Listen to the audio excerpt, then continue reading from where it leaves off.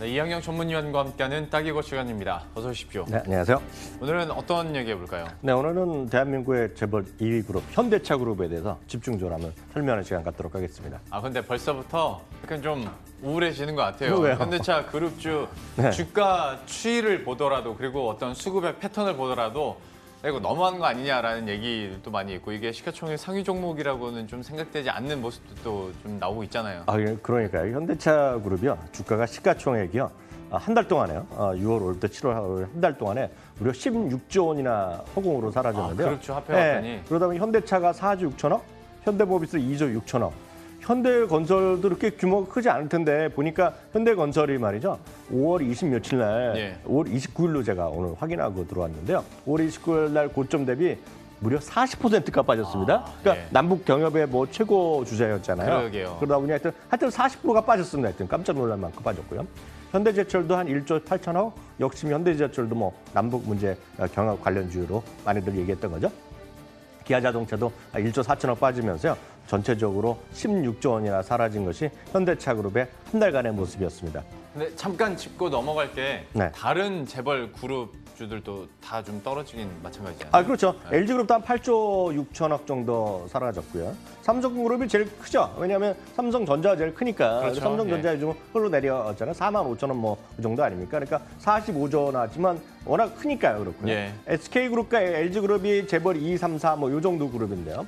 SK그룹이 한 6조 8천억 줄어들었고요. 롯데그룹 3조. 그러니까 규모로 보면 LG랑 SK랑 비슷하다고 보시면 되겠는데요. 그거보다는 역시 한 두 배 정도 현대차그룹이 많이 시가총액이 사라진 것 정도로 일단 큰 틀에서 이해하시면 되겠습니다. 어, 그러면 다시 현대차 그룹으로 넘어가서 그러면 여기가 왜 이렇게 많이 빠진 거예요? 어, 가장 큰 건 역시 미국과 중국 간의 무역 전쟁. 예. 거기 무역 전쟁이다 보면 항상 제일 먼저 나오는 것이 철강이랑 자동차인데 어찌되면 자동차가 있고 철강이 있- 있으니까 그렇죠. 현대차 그룹이요. 그러니까 가장 큰 어- 소위 직격탄을 맞을 수 있다는 우려가 있겠고요. 두 번째는 역시 신흥국 자금 이탈이 삼성전자만큼은 아니겠지만 현대차도 영향을 미치는 거죠. 아시다시피 현대차 그룹의 시가총액은 많이 줄어들었다고 하지만 대한민국에서는 6위 정도 되고요. 이머징 마켓에도 45위 정도 되거든요. 그러니까 예. 여전히 어, 일정 수준 영향을 맞을 수밖에 없겠고요.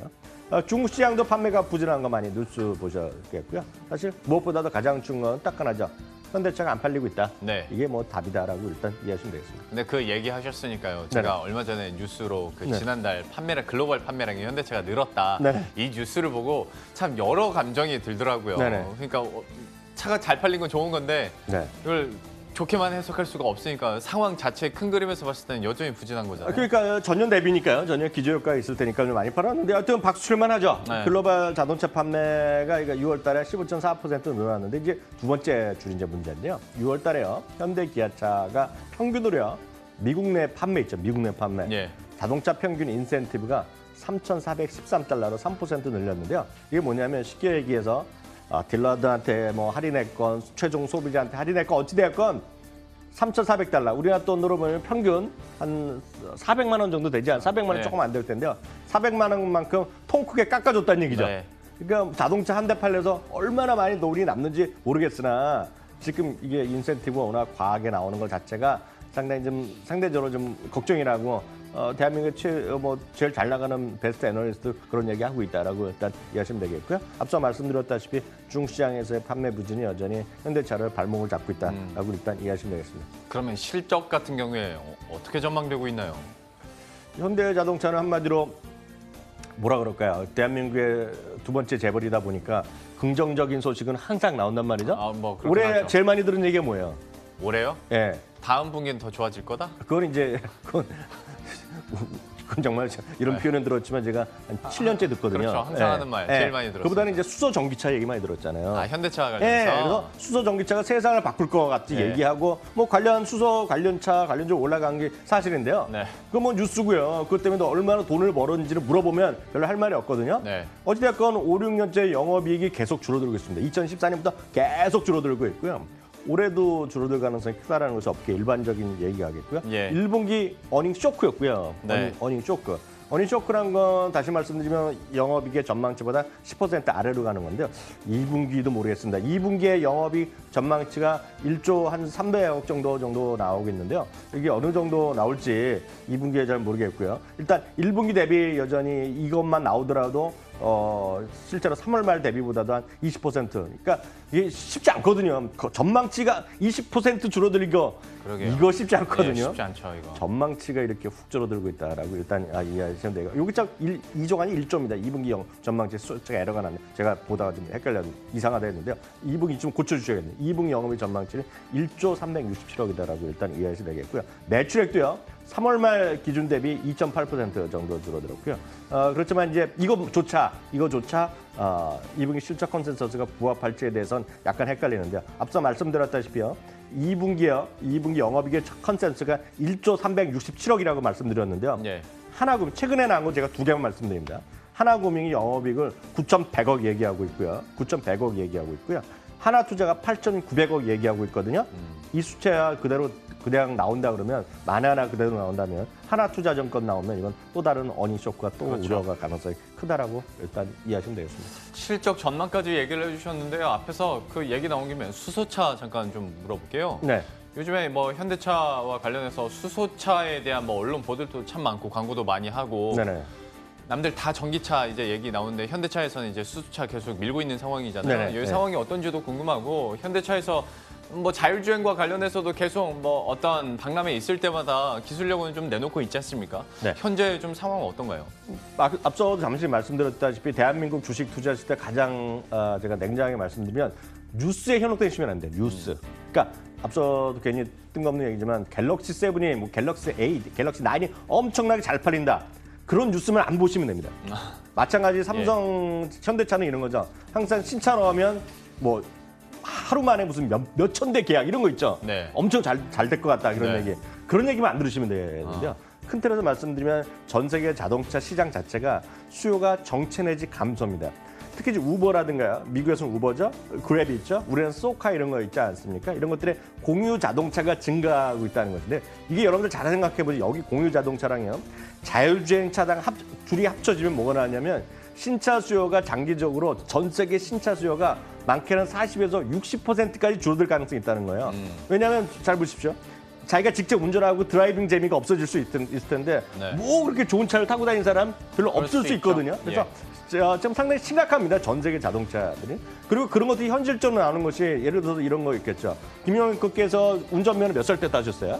저는 23살 때 좀 늦게 땄습니다. 네, 늦게 땄는데 요즘은 평균 나이가 더 높아지고 있어요. 어, 그래요? 그러니까 자동차에 대한 신규 면허가 이거 우리나라 얘기만 우리나라뿐만 아니라 미국도 마찬가지, 일본도 마찬가지, 우리나라도 첫, 첫 번째 면허 따는 인구가 조금씩 계속 늘어나고 있죠. 증가하고 있거든요. 그것은 뭐냐면 자동차에 대한 수요 자체가 많이 줄어들었다는 것이 되겠고요. 하나 더 창, 상식적으로 말씀드리면 미국에서도 미국에서도 자동차 운전면허 따는 양구가 20세 이상 가고 있거든요. 예. 가장 큰 이유가 뭐냐면 젊은 친구들이 술을 안 마신다 요즘에. 아. 이게 우스갯소리 같지만 수- 미국에서 운전면허 따는 사람들을 왜 따냐 그러면 우리나라 같이 주민등록증이 없기 때문에 라이센스가 들어 운전 면허가 중요한데요. 그쵸. 운전 면허 있어야지 예를, 예를 18살이건 19살이건 20살이건 그 주마다 운전 면허 음주할 수 있는 권리가 있는데 예. 그걸 따는데 술의 수- 소비가 줄어드는 가장 큰 이유가 지금 10대들이 술을 덜 마시고 그 담배 수요가 줄어드는 것도 미국에 아 이거 진짜 설문조사한 걸 제가 좀 갖고 있는데요. 신기하네요. 예. 고등학생들이 음주 흡연율이 줄어드는 겁니다. 지금. 예. 그만큼 자동차에 대한 신규 물론 대중교통이 좋아진 것도 있겠죠. 그리고 뭐 그리고 어, 혼자 사는 친구가 많이 늘어났고 예를 들어서 학생들이 돈이 없으니까 캥거루족이라고 요즘 바깥에 살다가 집에 들어오거든요. 네. 미국 사람들도 그러다 보니까 자기가 직접 차를 차를 더 살 필요가 없거든요. 네. 어, 이 모든 것이 결국 신차 수요에 대한 아, 어떤 감소 이렇게 이해하시면 되겠습니다. 근데 지금까지 설명해 주신 뭐 공유 자동차 증가, 자율주행차 시대가 되면서 신규 뭐 면허 취득도 점점 늘어나고 아 그러니까 줄어들고 연령은 늘어나고 이거 다 인정해요. 네. 저도 다 이해는 하는데 네. 지금을 보잔 말이죠. 네, 그래도 자동차 살 사람들은 산다. 맞죠. 네, 예, 그거 예. 아니겠습니까? 그러면 맞습니다. 예. 이 사이에서 현대차가 얼마나 활약할 수 있느냐가 또 관건 아니겠어요? 맞습니다. 이렇게 다니다 보면 진짜 자동차 새 차들 많이 보이잖아요. 아, 그럼요. 자동차는 넘쳐나고 많은데요. 늘 말씀드린 가장 중요한 건 넘버거든요. 숫자 자체로 그냥 설명해야 되거든요. 예. 상반기예요. 이건 제가 만든 숫자가 아니라 저 여러분들도 자동차 공유협회나 네이버에 검색하면 바로 나온 숫자입니다 지금. 네. 상반기예요. 국내 전체 자동차 판매죠. 네. 전체 자동차 판매가 조금 조금씩 늘어나는 거 있겠, 조금 있겠죠. 다만 문제는 중요한 게 뭐냐면 국산차 판매는요 올해 상반기에 0.5% 감소했습니다. 음. 그러니까 현대차가 팔리건 기아차가 하건 삼성차가 어찌 됐건 시장 자체가 마이너스 났고요. 예. 수입차는 18.6%로 더 늘어났다는 거. 여기 일단 모든 것에 여러분 답이 있고 아마 여기에 아마 시청자분들 많은 분들이 공감을 하실 것 같습니다. 예. 뭐든지 특히 말씀드렸잖아요. 소비재 제품은 여러분들 마음속에 일단 답이 있다라고 보셔야 되겠고요.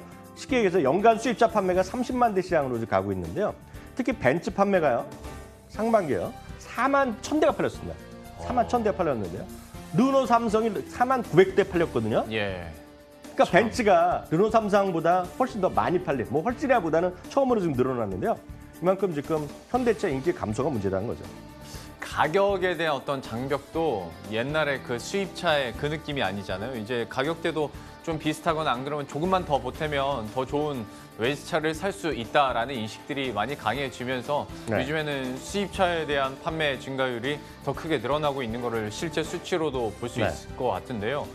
앞으로 더 심해지면 심해졌지 완화될 것 같지는 않네요. 맞습니다. 요, 요즘은 이제 첫 차로 본인의 첫 차로 수입차를 타는 친구들이 또 젊은 친구들이 많이 있거든요. 예. 뭐, 뭐 여러 가지 이유가 있겠죠. 뭐 아, 집 사긴 정말 완전 포기했고 예. 자동차를 한번 타보자 아, 이런 맞아요. 게 에, 충분히 예. 가능한데요. 이거 모르겠는데요. 하여튼 수입차의 공격적 마케팅이 지속되고 있는데요.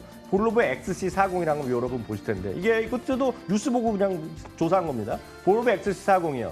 유럽 현지보다 최대 1,780만 원 할인해서 지금 대한민국에서 팔고 시작한다는 거 같거든요. 전 세계에서 제일 싸게 판대요 한국에서. 아 그러니까요. 네. 그러니까 제가 뭐 이 아무런 관계 없잖아요, 그거랑요. 중요한 건 이렇게 많이 가격 경쟁이 있기 때문에 국산차 입지가 좀 줄어들고 있다라는 거는 뭐 냉정하게 말씀드릴 수밖에 없습니다. 뭐 해외 브랜드 같은 경우에도 우리나라 시장에 진입을 할 때 아주 공격적인 가격 마케팅까지 펼치고 있는 상황이기 때문에 뭐 국내 자동차 업체들에게는 참 녹록지 않은 상황이 될 것 같은데요. 그러면 이런 환경들을 다 종합해 봤을 때 현대차 그룹주에 대해서 증권가 시각은 어떤지 또 궁금해지네요. 그래서 이, 이 얘기할 때마다 정말 속상한데요.